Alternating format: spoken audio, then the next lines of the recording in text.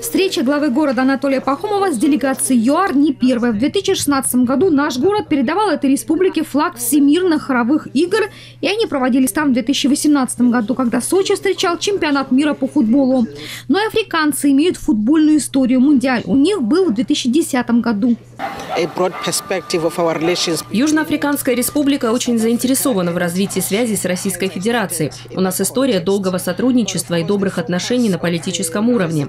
Сейчас наше посольство активно развивает поиск возможностей для экономического, культурного, туристического и экологического сотрудничества. У России широкий спектр возможностей для партнерства, и мы хотели бы установить побратимские связи между городом Дурбан и Сочи. Делегация из ЮАР на Российском инвестиционном форуме планирует обсудить с властями региона двустороннее сотрудничество между Краснодарским краем и провинцией Квазула-Наталь. Сочи их заинтересовал в первую очередь. В отличие от моих коллег, я первый раз в Сочи и поражена красотой. Это очень красивый город. Мы остановились не в центральной части, а в горной, и там увидели снег. Он в ЮАР в горах раз в году бывает, то быстро тает, а у вас лежит дольше, и мы наблюдаем сейчас на поляне лыжников. Это для нас приятный сюрприз.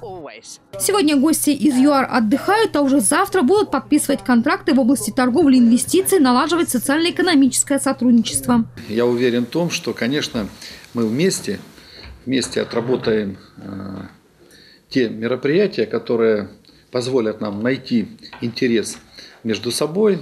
И в первую очередь мы город туристический, поэтому самый главный наш результат должен быть действительно налажен в туристической отрасли, в туристической деятельности. В завершении встречи обе страны обменялись памятными подарками, а глава города получил приглашение посетить Южноафриканскую республику для подписания договора о партнерских отношениях между двумя курортными городами России и ЮАР.